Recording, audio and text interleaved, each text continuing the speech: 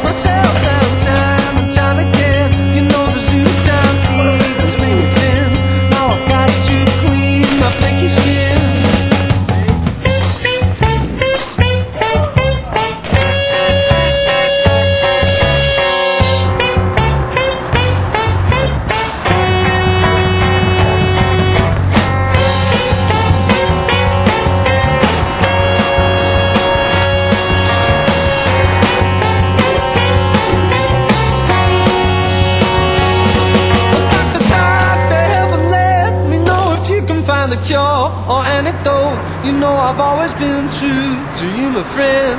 Hope that you can help me out again.